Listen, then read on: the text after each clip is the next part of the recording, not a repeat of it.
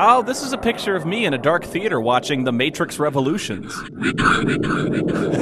now I know what the son of Sam's dog must have sounded like to Sam. Ripper, Ripper. because when you think Jack the Ripper, you think Blue Oyster Cult. The Walken agreed to do this game, but only if it was specifically in his contract. I gotta have more cowbell, baby. The Ripper's a wrecking machine, Rock. You wanna beat him, you gotta eat thunder and crap lightning. Ripper? I hardly knew her. More random has-beens than the Hollywood Squares. Okay, I'll grant you this is a more appropriate theme to Jack the Ripper than, say, Go Go Godzilla. Okay, game, somehow, I don't know how, but you've managed to land Jimmie Walker. Do not let him go to waste. Well, apparently she's not in any great hurry. We now switch to Mosquito Vision. I guess I just don't get the point of the song. Of course, seasons don't fear the Reaper, nor do the wind, sun, or rain. I mean, they're inanimate objects, and in Season's case, just an arbitrary metric to measure the passage of time. I just hate it when people project human emotions on the rain, that's all. God.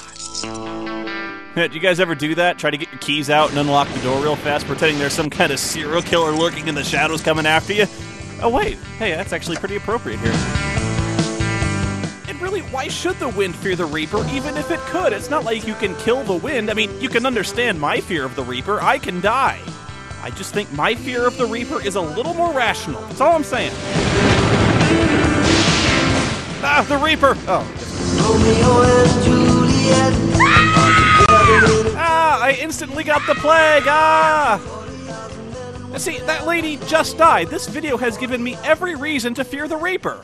My editor, Ben Dodds, called me at 3 a.m. to give me the news. Susan Boyle had come in second. It second. was a woman this time, the third victim. She'd been ripped. Of all the reporters in the city, the Ripper picked me to write to. A crossword puzzle guy. I knew that another mad letter to the city was soon to come, and I would run it on the front page of the Virtual Herald. You know, in the future. I would let the world know the Ripper had killed again.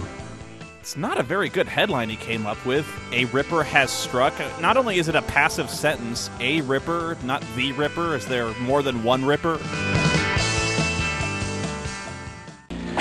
Hey, how you doing? I'm okay. I uh, hope you haven't eaten yet, Quinlan. Because uh, we're going to head down to Winchell's after this. You want to go? Because cops eat donuts and, uh, yeah. Uh, Christopher Walken is the Blade Runner. Figured you'd get here sooner or later, Quinlan. You and your hair. Can't get enough of this story, can you? I think everyone's had enough of this story, Magnotta. Baby, you cracked this case. Y'all be wearing gold plated diapers. So you've got a crime scene knee deep in blood, but they've taped off the bedroom and the bathroom. You really don't want to go in there. Yeah, in the future, we've pretty much given up keyboards and typing. Oh, but Windows endures. Not really anything I can click on there. I gotta talk to Walken. Talking icon special guest appearance by Dead Bob. Don't go taking any souvenirs, Quinlan. I was here first. I called dibs. I don't even know why they give you a choice of questions to ask since you're pretty much forced to ask them all anyway. Same MO as the others? You got it. Yeah. Look around you, asshole. if anything, this is more gruesome than the other two. Hell of a lot more splatter. It's like Gallagher went melon crazy in here. Who's the victim? You're standing in a Name's Stein. Renee Stein. Stein. Age 43. Book editor over at Knopf. Any Knopf. connection to the other two? Well, let's see. Estevez was a programmer. Mendler a dry cleaner. Dry cleaner. It'll take me 48 hours to run it down, but there's no connection here. Grab some coffee if you want. It's all gonna get thrown out anyway. You have any clues? No sign of forced entry, nothing's disturbed. Well, except for Two sets of everything. prints, hers and her mother's. The only thing not where it should be is this woman's insides. But what about witnesses? I mean, this guy must have been a bloody mess, even if it's 3 o'clock in the morning at Greenwich Village. Somebody must have seen him. As far as I know, he left us with one witness, and she's feeling a little fragmented at the moment. This guy is unfucking believable.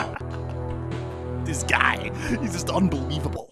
Why is her computer on, Magnotta? Well, it looks like she was in a public library node. Library node. Well, let me ask you a question. You got any mail lately? Maybe a little something from your pen pal? Maybe a tweet. He writes after the fact, not before. You should know that, Magnotta. I wouldn't hold out on you. Of course not. No. You've been very good Yeah. about sharing what you know. You've been good. With me and several million other people. People. I should have busted you when you ran that first letter without letting us know about it. Makes me want to gesture with my right hand at you. All right, visiting hour's over. There's nothing here you haven't seen at the other murder sites except a few extra gallons of body fluids. Body fluids. We shouldn't be touching anything, should you, Magnotta? Hmm. Never question Bruce Dickinson. I guess this case has me rattled. Now get out of here, Quinlan. I don't want to see that ugly mug around here again. Oh, you just know that's a clue. Object scanned into database. Fascinating, Captain. hey guys, I guess you'd call that a mugshot. Ow! I hit myself. Why? It's reflex or something. This shattered mug had something written on it. See, it's the future, so you don't have to spend hours with a bottle of superglue assembling this broken mug by hand. It's a good thing he had the foresight to go to the Apple iTunes store and then download the uh, broken mug scan and repair software. Unfortunately, it is kind of an early version, so it's not very good. I'm skipping ahead to the solution of this puzzle because this one took me a very long time to solve. Not because it's hard, but because it is terribly coded for a couple reasons. The first reason is that uh, you can only fix this mug from one perspective. You can't actually rotate it on another axis. You can only rotate it in kind of the XY direction. The Z direction you can't rotate. So it's very specific the uh, the pattern and order you have to put these mug pieces together. The second reason is even if you've solved it, a lot of times the game doesn't give you credit for having solved it because it has to be so precise, like down to the pixel. So if any one of the pieces is misaligned by a fraction of a centimeter, you basically have to take the whole thing apart and put it back together again because you have no idea of knowing which piece is out of place, and it's usually one of the ones in the back. And the reason I complain about the perspective is because uh, Quinlan tells you that there's writing on the mug. Well, that writing would have been a really good guide to help you put the puzzle back together, right? You know, because there's writing, you just put the letters back together. And in fact, knowing that, the puzzle ceases to make all sense because if all you want is the writing on the mug, that's the only part of the mug you have to reassemble. So that's the mug puzzle, one of the first and unfortunately one of the most infuriating puzzles of Ripper. Salisbury. I wonder what that means. Besides being a delicious steak. Mmm, Salisbury steak. Cold Carl Stasiak. We gotta stop meeting like this. Oh, you don't need to give me the silent treatment, Carl. I said I was sorry. Sorry, Quinlan. Hail Caesar. What'd you say? Ask him about his rockin' bling. Is there any difference between this murder and the previous ones? It was identical. Absolutely identical. Except for the was a different precision pots. A perfect line. And the way he empties out the body cavity. The way the organs are blown all around the room. So it's the same killer? Oh, for sure. I mean, the organs, they're completely cut to pieces. I've never seen anything like this in my life. Not since the last Walmart opening. Any clues to how it's done? Don't ask me. You'd think I'd be used to seeing things like this by now. But I'm not. Whoever did this is beyond madness. Beyond Sparta! It's pure evil. I mean, I've cleaned up after every one of Ben Affleck's homicides, and I've never seen anything like this. Any progress in the investigation? Who knows?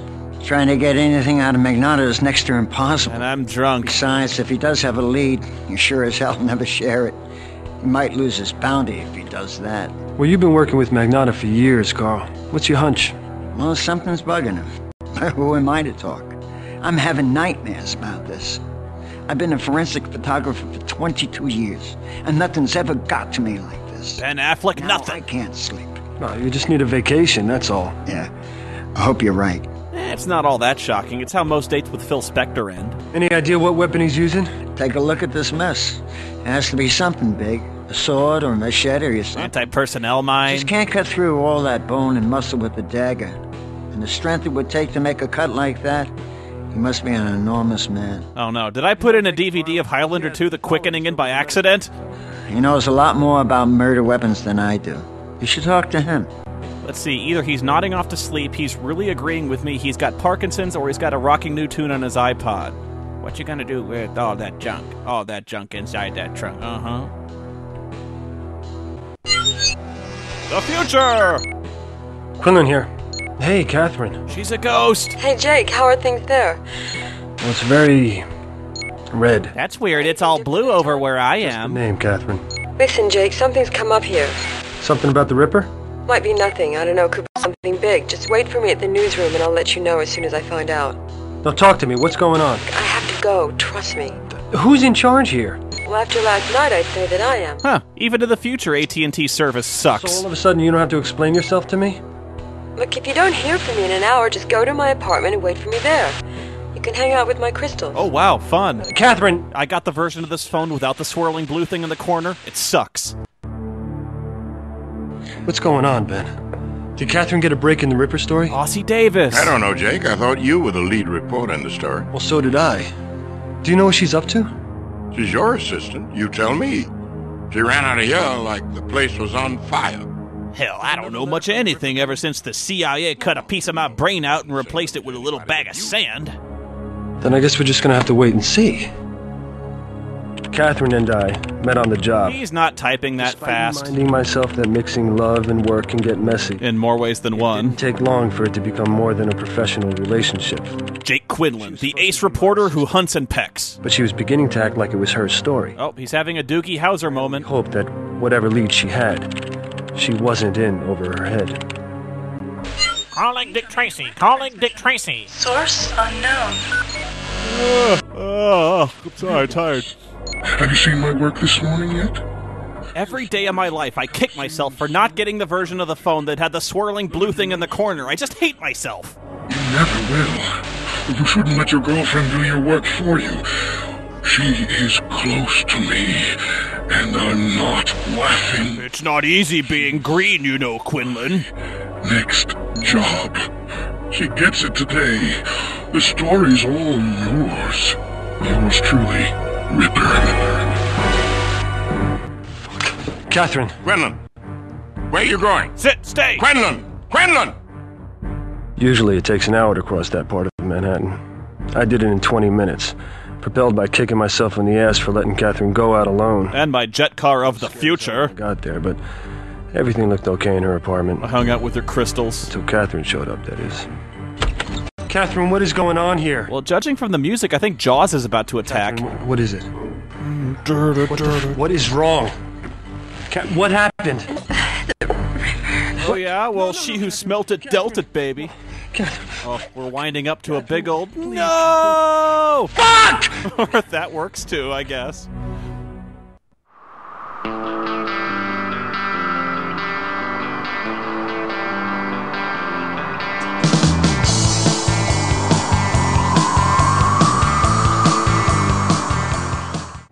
This guy is unfucking believable.